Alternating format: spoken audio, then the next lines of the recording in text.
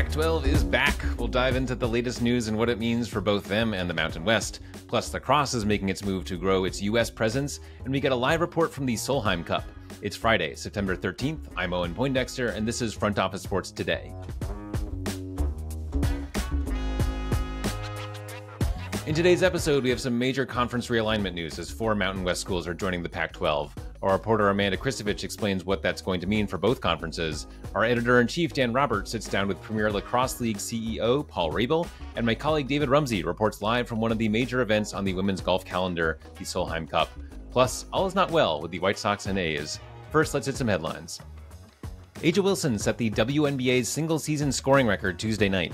Wilson entered the game only 11 points away from the record and broke it with a pull up jumper late in the first half. With four games to go left in the season, Wilson has a strong chance to be the first WNBA player to reach 1,000 points in a single season. Her current total sits at 956. Tyreek Hill called for Miami Dade police officer Danny Torres to be fired after his detainment on the way to Hard Rock Stadium Sunday morning. In a statement from Hill's lawyer, they said, We are of the opinion that the officer's use of force was excessive, escalating, and reckless. We are demanding that the officer be terminated effective immediately. The Miami Dade Police Department has placed Torres on leave, which his lawyers called premature and demanded immediate reinstatement. The woman making a new accusation against Deshaun Watson is looking to meet with the NFL within two weeks. Her lawyer, Tony Buzbee, said that we have a video and two additional witnesses for the NFL to speak with.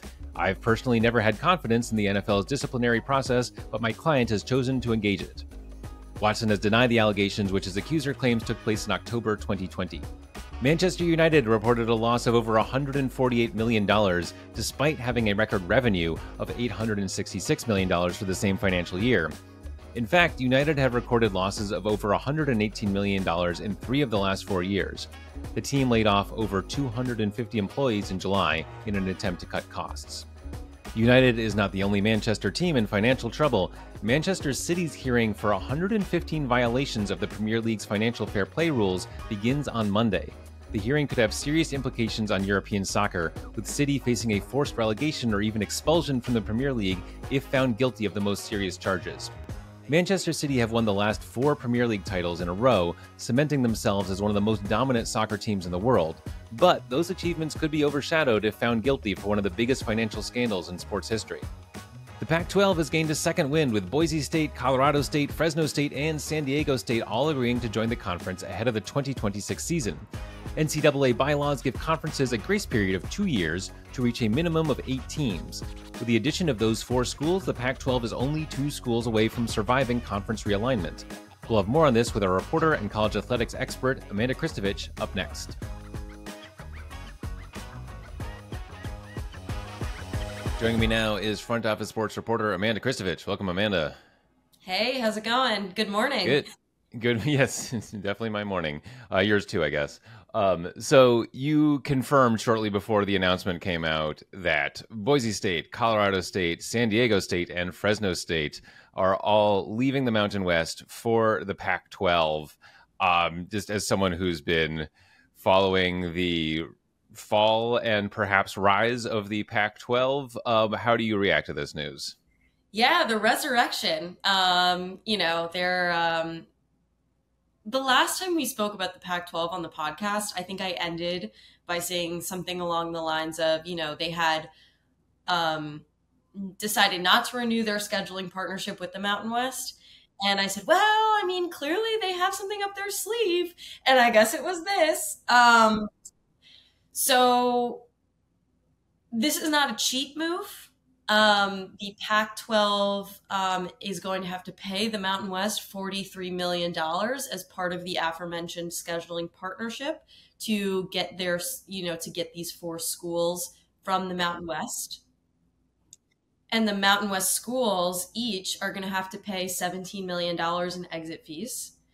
Um, so the Mountain West is is definitely getting you know a nice eight figure cushion um, for losing these four members. But yeah, I mean, look, the Pac-12 is going to get these schools in 2026. Um, and they're going to be on the hunt for two more because in order to maintain FBS status, they need to have at least eight schools. Um, you know, but I think it's safe to say that the pack is back. And as our uh, newsletter newsletter reporter David Rumsey uh, coined this morning, the six pack, which I will be using until the end of time or until they get two more members. Right. I mean, you can use it for a little bit, but it sounds like, I mean, going two to eight, it's like, yeah, maybe, but it sounds like they'll have to, you know, merge with the Mountain West or something. But going six to eight seems very doable. Um, mm-hmm. Um, especially, and now obviously they're very motivated. They they are committed to this move. Yeah, they paid forty three million dollars to get two thirds of the way there, two, from where they were.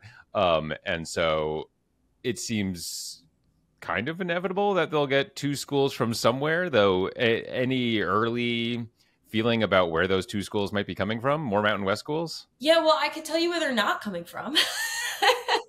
they're probably not coming from the ACC, um, at least as of now. So I was there was obviously you know speculation this morning about whether or not Stanford and Cal would turn around and go back to the Pac-12 because it makes sense from a you know geographic standpoint, right? Um, however, um, I was able to confirm, and this isn't like huge breaking news. You would assume this is logical, but I was able to confirm that Stanford and Cal are parties to the ACC's grant of rights contract, which means um, that they're parties to the same contract that Florida State and Clemson, who are currently in court trying to invalidate those contracts, um, you know, they're on the that same plane.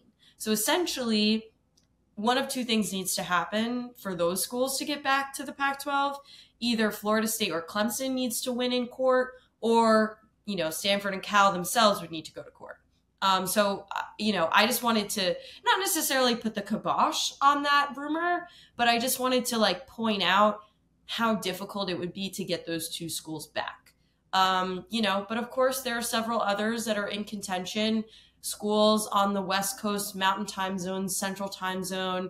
Um, the makeup of the Pac 12 is changing, right? It's a lot of, you know, big state schools with um, really like sort of regional sports and football programs. Um, so, you know, we've got to think a little bit about the new Pac 12 versus what the old footprint was in looking at, you know, it's like I'm not even sure Stanford and Cal would fit from a flavor perspective, right?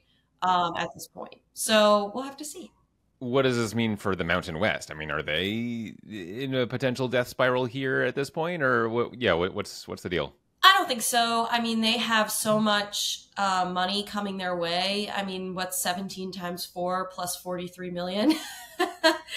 um, you know, and they've got some time to, you know, find some new members of their own. They've got some time to um, you know, talk about and re up what their media contract is going to be uh, going forward. Also, important to note that while they're losing, you know, quality members and quality brands, you know, if if I remember correctly, Boise State was getting like extra money. Um, I think so. You know, I, I, I don't. The Mountain West is not in a death spiral by any means. Um, you know, and then just like personally, Commissioner Gloria Nevarez, this is not her first rodeo. She obviously anticipated something like this happening, which is why she got that huge exit fee into the scheduling agreement. Um, so you know, it, it's it's not the greatest day in the history of the Mountain West, but I, I don't think it's any cause for for major panic from from their perspective. And is there other than the Pac-12, you know, looking for those next two schools, is there any other like big domino here that you're expecting to fall sometime soon? Expecting no, but the other big domino I'm going to be looking at, in addition to who the Mountain West is going to try to bring in, um, is again we've been following Florida State and Clemson for a while. Um, if those contracts are invalidated by a court, then the entire conference could be the next Pac-12, right? um, because invalidated media rights uh, contracts and grant of rights agreements or ones that expire before you sign a new one. That's what causes a conference to fall apart. Uh, so that's what I'll be looking at in the next six months. Very interesting stuff. We live in interesting times. Amanda Christovich, thanks so much for joining us. Yeah, thanks for having me.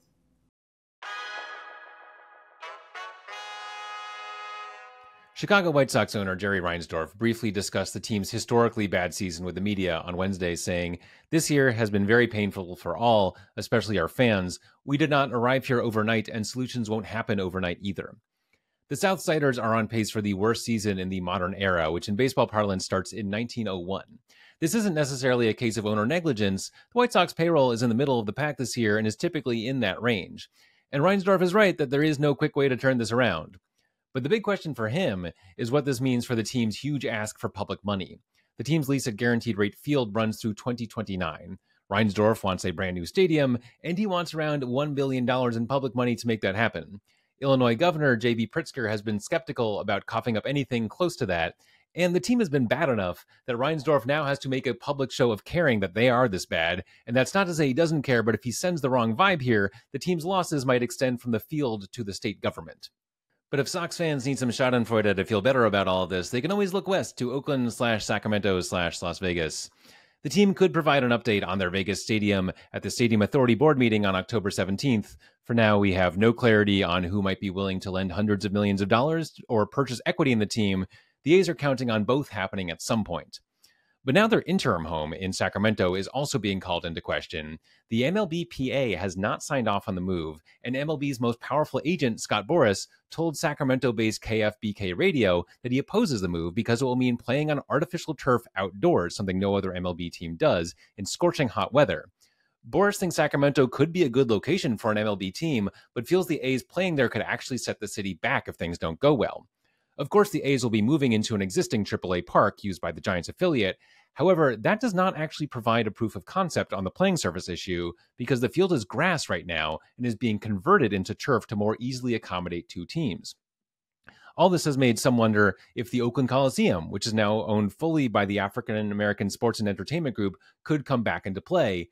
MLB did its best to shut down that notion, saying in a statement to Front Office Sports that it is a certainty that the A's will play their 2025 season in Sacramento as planned. MLB is continuing to work productively with the MLBPA on the details of the transition. The best bet here is that the team will, in fact, go to Sacramento and then Vegas, but no part of this process has gone smoothly for the team, and this one ain't over till it's over. Al Michaels thinks he has the best slate of games yet on Thursday Night Football this year, and he credits the growing importance of streaming to the league's future for the shift. Quote, last year was considerably better, and this year is even better than that, by far the best of all. And I think a lot of it has to do with where the business is right now. Streaming is more and more important. My colleague Mike McCarthy often notes that the NFL is holding broadcast TV together, but at the same time, it's building its replacement. The league is a major driver of subscriptions to Prime Video and Peacock, and as of this year, perhaps Netflix as well. Sticking with the NFL, there may be trouble brewing with the Arizona Cardinals. Sunday was the NFL debut of Marvin Harrison Jr., one of the most anticipated receiver prospects in a long time. However, Harrison Jr. was targeted only three times by quarterback Kyler Murray. He had one reception for four yards. These things happen, and there's no real reason to lower expectations for Harrison based on one game, but Murray had an odd choice of words when talking about it after the game, saying, quote, Sometimes the ball goes to him, but it's not my job, obviously. He went on to say that the plans are in the hands of offensive coordinator Drew Petzing, and he expressed confidence in his new receiver. Fairly or not, Murray seems to draw the spotlight for strange reasons periodically. At the outset of his career, he took an awkwardly long time to choose between football and baseball after getting drafted into both sports. The Cardinals initially put a clause in his contract requiring four hours a week of independent study of the team's playbook, which they removed after it became public. Anonymous sources questioned his work ethic in the wake of his five year, $230 million deal with the Cardinals. Even though it's not his job to target Harrison specifically, the Cardinals are staking a lot of their future on the Murray to Harrison connection. We'll learn a lot from Sunday's game against the Rams. The Premier Lacrosse League has its championship on Sunday. Ahead of the match, front office sports editor in chief Dan Roberts spoke to the league's CEO, Paul Rabil, on starting a new league, the importance of media to its survival and growth, and ESPN's use of AI to produce game summaries. That conversation is next. Okay, Dan Roberts here in the FOS studio in New York, and I've got Paul Rabil from the PLL here today. Paul, thanks for coming in. It's so good to see you, man. You were So one of my to see you. first interviews when we launched the PLL in 2018. Wow.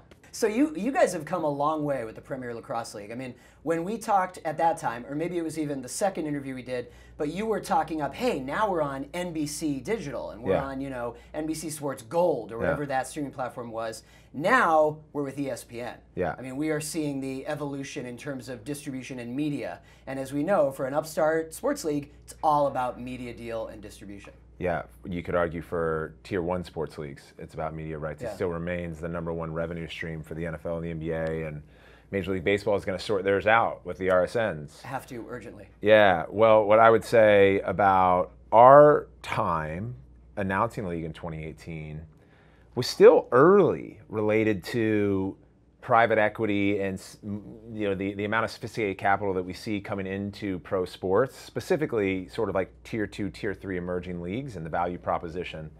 If you look at the nba over the 20 year period of 2002 to 2021 on average the teams increased by 1000% and so that outpaced any mlb any ahl team and the s&p 500 which by the way over a 20 year period the s&p is up eightfold you know, if, if, especially if you're investing on an annual basis. Well, so, I, I always say that there's no such thing as a guaranteed investment, or you shouldn't say there is, but buying a piece of a major pro sports franchise pretty close to guaranteed in the last couple decades. This whole space has changed. I mean, I like to say that we're living through a transition period where you still need, I mean, you mentioned the RSNs. Like, if you live in a certain city and you have to see your NHL or MLB team, you need to get the local RSN. So there's people who still need cable, but every year there's more and more and more big NFL games and other league games streaming. Yeah. Exclusive to streamers. I mean, let's talk in 10 years, it, it'll, it will have continued. But when you look around the landscape, I mean, you know, great to be a partner of ESPN, but you probably also feel like who knows? Sky's the limit in terms of distribution. You mentioned Peacock. Amazon is in this game. YouTube, Google yeah. owned, is in this game. Netflix has NFL games. So everyone is kind of crowding yeah. into the room for all kinds of live sports rights. Well, sports are the last standing firewall for appointment watching television, which is the biggest unlock going back to ad dollars, right? So you so ad ad the ad business is so favorable to sports because of the appointment watching component, which was eradicated out of entertainment when when DVR happened first, then streaming. So if an advertiser can count on eyeballs and specific eyeballs on the platform, then they're going to likely serve a portion of their budget. Which, by the way, globally at the end of 2025, the advertising uh, industry is going to be one trillion dollars. And as we talk about churn of broadcast cable subscribers in the US down to 60, it's still a $60 billion advertising business. So ads are so, so important. Um, I don't want to talk too much about ESPN during this interview, but one more question because we just had some news today, which is that ESPN will use uh, this generative AI, I think it's um, Microsoft Azure powered, to do game summaries. And they're starting out with game summaries and recaps of two leagues, PLL and NWSL. So I don't know, do they have to approach you for something like that? Is yeah. that something you're actually involved with? And, you know, from the journalism side of things and the media side of things, is this, oh God, here comes the AI writing, or, or this makes more sense and is not quite an example of that? Talk, talk to us about how. On the AI front, here's what I'll say. As I, I studied the strike uh, in the film business a year ago. Um, I believe that AI augments effectiveness of your people we don't use, and I know ESPN is not introducing AI to replace the workforce. They're looking to multiply um, output. And when it comes to emerging leagues like the PLL and the NWSL, where they have already resourced us for the first time this year with personnel to cover games. Remember, we play four games a weekend. And so to be able to get content and more content out, not just game recaps as they cited, but also highlights and um, closed captioning. I view it as augmenting effectiveness mm-hmm. and not replacing. And I think it's so critical to get that right. And it was an example of, you know, the difference between Jimmy's interview and a tweet. Mm-hmm. Jimmy's interview, everyone gets it because you get long form chance like you and I have to discuss it. The tweet, you don't really. Harder and, to get through nowadays. And know? it gets ratioed. Right. Which leads to this conversation. Right. But I believe that much like Google search did in uh, the 90s and early 2000s, it enhances our ability to get better output faster. Mm-hmm. Uh, how important is it to have big backers? And I don't necessarily mean financially, but kind of big fans and I'll ask about one in particular who is dear to both of our hearts, and that is Bill Belichick, has yeah. always been a big supporter, right? Yeah. Uh, we have certainly written recently about Belichick at FOS because he is entering his TV era. Yeah. But he's been a, a big kind of flag waver for you guys. Yeah. Well, I think it's critical to have both long term capital that some would say are irrationally passionate about a respective discipline. Um, and there's a history of that. Phil Anschutz hmm. in the MLS, there's the Fertitta brothers in the UFC. We have someone like Joe Tsai who is, I would call, and I was with him this past weekend, the godfather of lacrosse. He played lacrosse growing up in the US, he played at Yale. He watches the Yale Bulldogs and some PLL games. Uh, from Air Joe when he's yep. handling his Alibaba work and all the other stuff he's going on with the Brooklyn Nets and Nets, Liberty, Seals. Yeah, yeah. He's uh, he's an unbelievable person, really strategic, very long on lacrosse, and we wouldn't be here without him. We have a group like Raine Ventures and Colin Neville, who also played lacrosse in college, who believed in our pursuit and wrote our first term sheet. I mentioned Arctos, we have the Chernin Group. So when you have Peter Chernin, Mike Kerns, and Jesse Jacobs, who are historically supremely talented when it comes to media and tech businesses and personality driven businesses, which I'll segue to, um, you've got yourself a really nice board. Um, that's critical. On the Bill Belichick front or personalities, sport intersects with culture. Mm. I think of Constance Schwartz, who's done such a good job with SMAC and like developing, you know, whether it's entertainers like Snoop Dogg coming into sports or athletes like Michael Strahan going into entertainment. Uh, there's not a lot of people that understand how to shoehorn that because it is different audiences almost entirely. And I think basketball has gotten it right. Uh, European football gets it right. Uh, I still think American football is behind those two. Um, but talk about Taylor Swift and the impact that she's had on the anomaly that we call the NFL. She can even drive more hype to that massive engine. Um, so when you have a Bill Belichick, when you have a Method Man, when you have a Kevin Durant, that are all in several ways a part of the PL, either as owners or uh, just fans of the sport. Um, you know, guys like Steve Carell and Jon Bernthal and Justin Timberlake and Jamie Foxx and Justin Bieber, they all play lacrosse. And so part of my job is thinking about how do we get right. them back into the game that they once played. And I understand why they're not, because the pro game was fairly non existent for the last 35, 40 years. Um, if you turn those engine lights on, people start noticing more. And when you have a sport like lacrosse, which similar to hockey, maybe in the 90s and early 2000s, has like certain stereotypes. There's like fighting for interest amongst fan bases. To have someone who is a sort of iconic across sports and multiple disciplines vouch for you is pretty big. And that's why we launched our street lacrosse with, with Kevin Durant. So it tackled two things a, a new and accessible way to play lacrosse, which is him and I grew up in the DMV and always played hoops because you always had a, a neighborhood court uh, and you could just play pickup. But a sport like lacrosse and football, you can't because they require 10 players per side, a goal, a goalie, and a bunch of pads. So let's just get sticks and tennis balls and play pickup lacrosse on a court.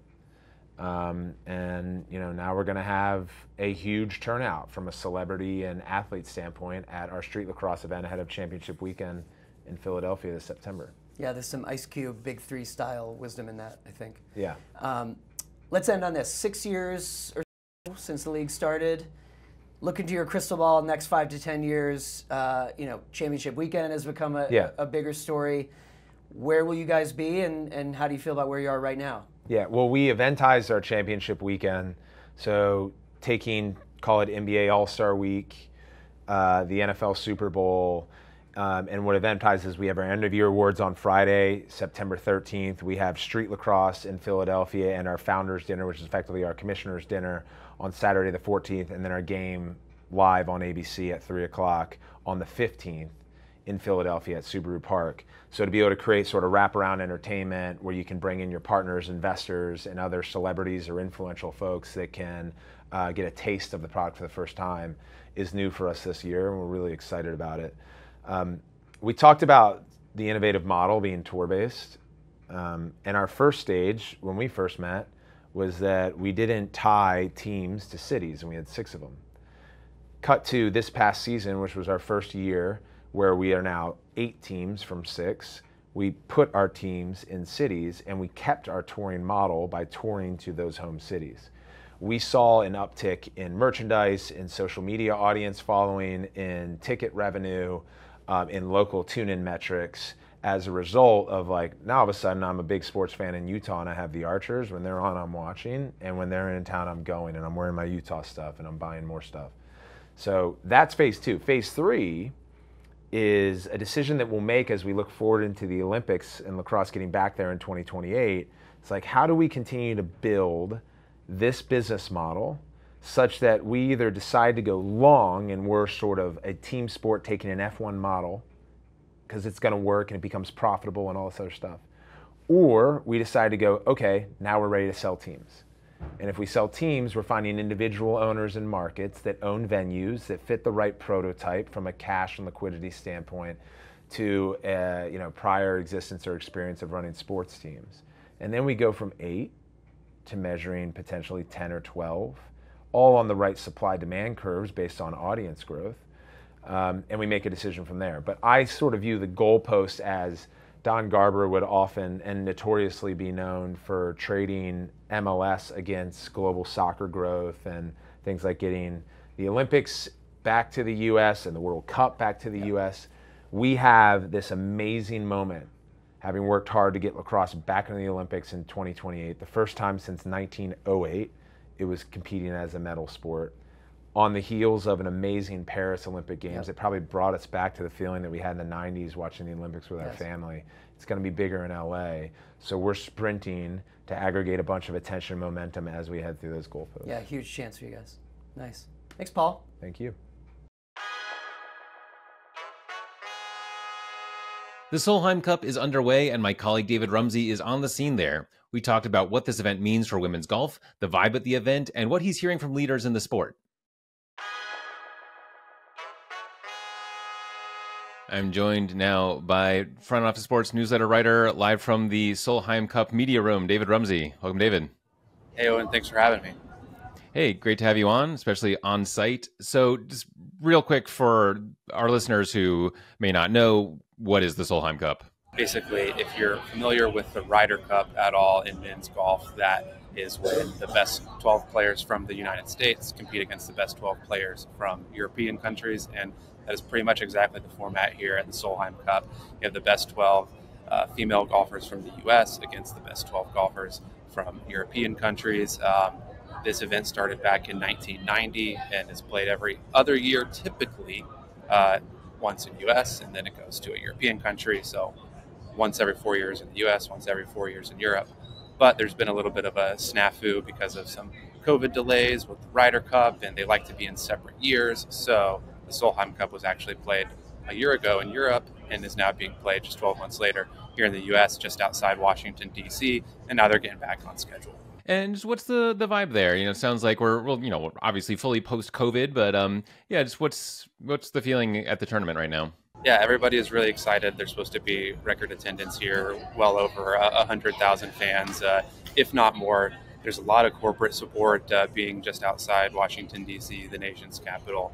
Um, sponsors are up. Uh, I, I, think viewership should be up from last uh, time when the tournament was in the U.S. Uh, NBC is NBC Sports is putting more of the coverage on their network channel, NBC. So uh, signs are positive. Um, the chatter for the competition side of things is the U.S. has not won the Solheim Cup since 2017, so they're hoping to get that back. Last year in Europe, there was a tie, 14-14, uh, but because Europe had won the previous tournament, they retained the cup. So that's that's kind of the drama um, on site huge build outs. There's a 2,000 seat mini stadium uh, right around the first tee. So I think those uh, opening shots should be pretty electric each morning, you know, when it's uh, 7 a.m. and fans might have had, had a couple beers already. So that, that'll be fun to see. The rise of women's sports has been maybe the biggest meta topic that we've had, you know, in our time at Front Office Sports. Um, how much has that reached the golf world? Yeah, I think I think it's getting there. I don't think it's uh, to the level of uh, basketball, certainly college basketball, uh, WNBA, those you know huge viewership spikes that we see, and certainly attendance around Caitlin Clark. Um, even the NWSL seems to have you know those huge media deals they just signed and record attendance uh, again this year. So uh, I will say though, in women's golf, there is a lot of more corporate support than there used to be. Uh, it seems like more people are showing up to tournaments, and, and prize money is going up uh, for these women that are competing out here on the LPGA Tour uh, week to week, and then as well as at major championships. So I think it still has some work to do to get on that same level, maybe in the U.S. as we've seen with you know basketball, soccer, you could throw volleyball in there too uh, on the college level. But uh, it, it's not like it's lagging so far behind that it's egregious or anything. Sort of along those lines, um, you, you said the Solheim Cup is essentially the women's Ryder Cup. Um, is there any actual, you know, discussion, collaboration between the two cups? Not really organizationally uh, or operationally. They, they certainly support each other. You know, the U.S. players like to support each other and you know send good luck. Uh, same thing on the Europe side. Um, but yeah, it was interesting because you know last year the events, the Solheim Cup and Ryder Cup, were played back to back weeks in Europe. Uh, Solheim in Spain, the Ryder Cup in Italy. But it was just kind of, you know, two separate events happening. There wasn't a, a lot of synergy. Um, when the Team USA captain Stacy Lewis was having her press conference here earlier this week, you know, I asked her, hey, what were the pros and cons of playing a couple Solheim Cup and Ryder Cups uh, in the same years because it happened in 2021 as well after the Ryder Cup was delayed to that year. And she said, you know, she doesn't have a preference on whether they should be played in the same year or not, but she thinks that when they were, there was a missed opportunity to do a little bit more. Um, and, and, then she had a really fun idea. She said that the President's Cup, uh, which is operated by the PGA Tour and pits uh, the top men from the U.S. versus international countries outside of Europe, which that's going to be later this month. She said, "Hey, that should be a mixed event, and you should have men and women from the U.S. competing against men and women from." Uh, other countries outside of Europe. Um, and there's a lot of really good uh, female golfers from Asian countries, Australian countries, uh, things like that. So I, I think that would be really fun. Uh, I don't know what the logistics of getting that done would be, but uh, that, that, was a cool idea, I thought. Any questions that you're looking to see answered by the tournament itself? No, I think I'm just ready for uh, some competition. Uh, it's going to be fun to watch. you know, it's, it's so different when the players are here. They're not competing for prize money this week. I was just talking about, you know, there's record prize money at all the majors this year. It's going up on the LPGA tour, but this week it's it's not about prize money, even though there is a lot of money coming in as far as ticket sales, uh, sponsors, etc. Um, but yeah, it's just it's just about pride in country. Uh, so I think that you know it gives golf that team setting that you know it's it's so hard to kind of just root for one player throughout the year, but you know when you can as an American, you can say I'm rooting for Team USA, or as, someone from Europe, you can say I'm rooting for, you know, uh, Team Europe. Uh, I just think that makes it uh, very cool. Certainly during Ryder Cup years, and I think uh, people can definitely get behind the Solheim Cup too, even if they don't watch a ton of women's golf throughout the year. All right, well, enjoy it, David Rumsey. Thanks so much for joining us on the show. Thanks, Owen. Time now for Front Office Sports Tomorrow, where we look ahead to what's coming in the business of sports. The Carolina Hurricanes' home has a new name. The Hurricanes have agreed to a decade long naming rights deal that will change their home from PNC Arena to the Lenovo Center. Before long, it will be different on the inside as well. Last year, the team committed to staying in the area for at least 20 years in exchange for public money to support a $300 million renovation. Team owner Tom Dundon has $800 million in development surrounding the area planned over that span. Included in the plans are 100,000 square feet of retail and food space, 150,000 square feet of office space, 200 apartments, 20 of which will be designated as affordable housing, a 150 room hotel, and a music venue. PGA and LIV Golf are breaking barriers later this year, squaring off in a head to head match for the first time ever. It comes at an interesting time as talks to merge the two leagues have seemed to stall out over the past few months, although PGA Commissioner Jay Monahan said recently that the discussions have been stronger lately. Although the two sides have often been pitted against each other, some of the players believe that the upcoming Inter Tour match represents an important step in the potential merger. PGA's third ranked golfer Rory McIlroy has been a PGA loyalist, but said last month that anyone that cares about golf, I think, has to be frustrated over the lack of progress on a deal. But he seems excited about the upcoming exhibition, which is not officially sanctioned by either tour. On Wednesday, McIlroy said that he wasn't trying to send any sort of message by agreeing to the match, and that his participation is based on the belief that, quote, this is what could happen, or these are the possibilities going forward. I've been saying this for a long time. I think golf and golf fans get to see us together more than four times a year. Bryson DeChambeau, who will be facing off against Rory on the LIV side, called the event an opportunity to get this game back in good standing. While the PGA and PIF still can't get on the same page, the players are ready for everyone to be friends again. Caitlin Clark liked Taylor Swift's photo endorsing Kamala Harris. When asked if her like was an endorsement for Harris, this is what the WNBA star had to say. I think for myself is, you know, I have this amazing platform, so I think the biggest thing would be just encourage people to register to vote. Um, I think for myself, is the second time I can vote in an election. At age 22, I could vote when I was 18, so Um, I think do that. That's the biggest thing I can do with the platform that I have, and that's the same thing Taylor did. Um, and I think continue to educate yourself um, with the candidates that we have, the policies that they're supporting. Um, I think that's the biggest thing you can do, and that's what I would recommend to every single person that has that opportunity in our country. Meanwhile, Patrick Mahomes is also encouraging voter registration and is also keeping it fairly neutral. The Chiefs QB said, I don't want my place and my platform to be used to endorse a candidate. I think my place is to inform people to get registered to vote. Americans have a tough time uniting on much, but getting to the polls on election day is something almost everyone seems to agree on. That's it for today. We'd love it if you shared this show with a friend, and if you have a take on the day's big topics, send an email to today at frontofficesports.com, and your thoughts could be featured on the show. Thanks for listening. Enjoy your weekend. We'll see you on Monday.